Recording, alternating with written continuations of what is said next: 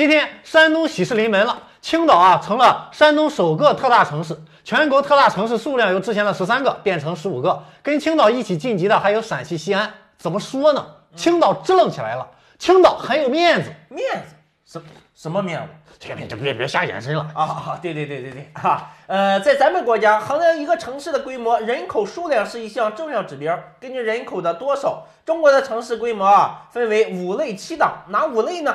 五十万人口以下的小城市啊，五十万以上一百万以下的中等城市，一百万以上五百万以下的大城市，五百万以上的特大城市，一千万以上的超大城市。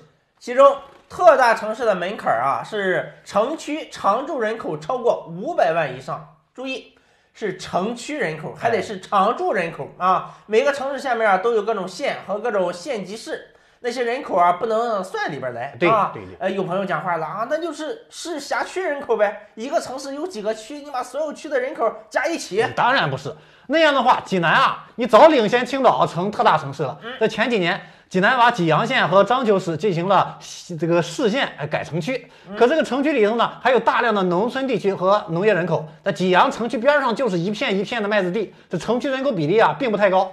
而青岛能成功啊，那是有原因的。二零一七年，青岛啊即墨市市改区，青岛六区变七区，城区人口一下子壮大了一百多万啊！即墨在归队之前，那就是山东百强县排行榜上的 number one，对啊对对还是北方经济第一县，实力啊很能打。总之吧，呃，这个青岛啊成了山东第一个特大城市啊，是好事儿。以前呢，山东啊多是一百万人口以下的中小城市，不成气候，哎城镇化率不高啊。所谓群龙无首，中心城市一个没有，火车跑不快啊，都怪没有车头带。